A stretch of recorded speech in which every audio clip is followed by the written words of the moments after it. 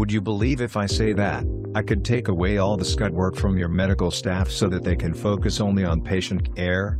Healthcare providers today strive to provide a good caring experience to their patients.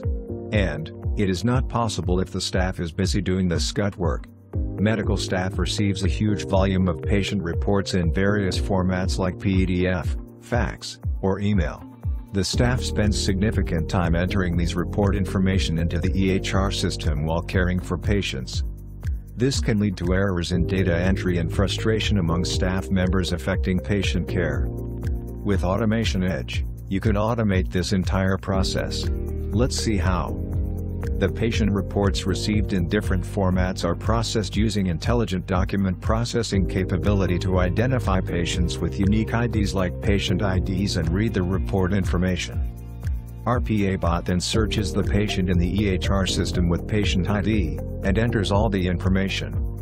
In addition to this, the AutomationEdge bot can send a copy of reports to an assigned doctor on email or messenger apps for easy access.